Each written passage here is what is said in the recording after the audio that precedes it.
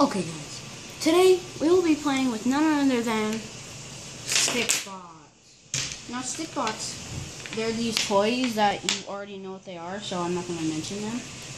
Um, we're just going to be trying them out and seeing why they're so popular these days and see why they're cool.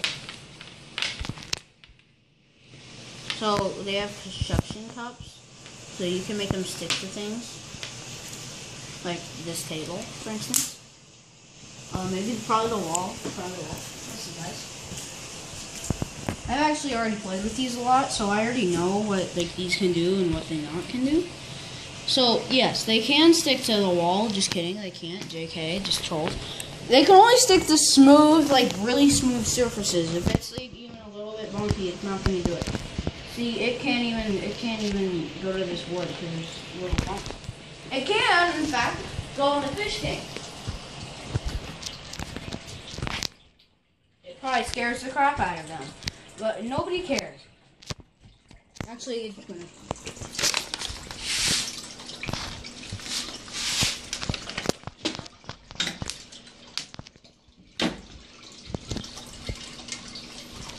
Sorry about that. Now let's go back. So let's see what these things can do.